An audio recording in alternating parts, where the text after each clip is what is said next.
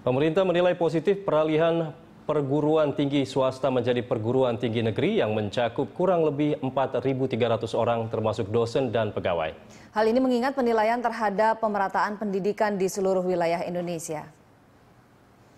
Presiden Joko Widodo bersama Wakil Presiden Yusuf Kala membahas permasalahan serta hambatan pada proses perubahan bentuk perguruan tinggi swasta atau PTS menjadi perguruan tinggi negeri atau PTN.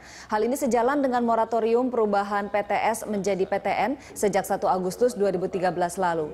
Beberapa hal yang menjadi perhatian pemerintah dalam pembahasan terkait lahan, aset, status dosen, dan pegawai 4.300-an orang diharapkan ditemukan penyelesaiannya yang saya hormati Bapak Presiden. Status perguruan tinggi swasta menjadi PTN, perguruan tinggi negeri.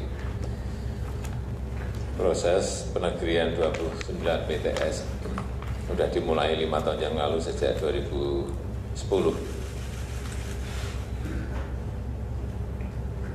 Namun dengan pertimbangan masih adanya permasalahan yang mengiringi proses penegrian PTS PTS itu pemerintah telah melakukan moratorium perubahan bentuk PTS menjadi PTN terhitung sejak 1 Agustus 2013 dan pada rapat terbatas pada Juni yang lalu 29 Juni 2015 pemerintah juga memutuskan untuk memperpanjang moratorium peralihan PTS ke